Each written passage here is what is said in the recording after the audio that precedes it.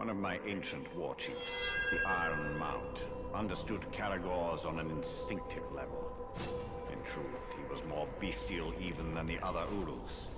And every beast can do work, if given the right harness.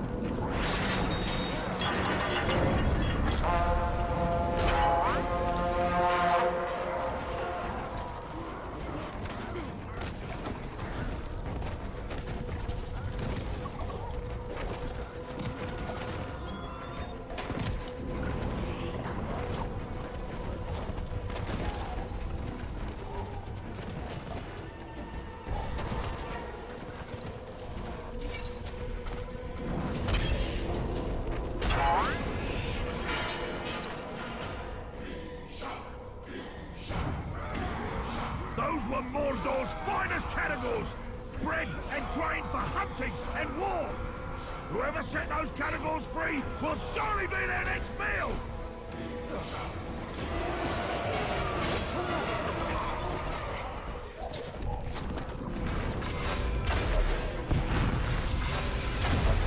You! I've taught my Caragors much, but I've also learned from them. Learned that the only way to slake my bloodlust is to tear flesh from bone! Oh, he knows what we want to do. Let's not disappoint him! Ah! You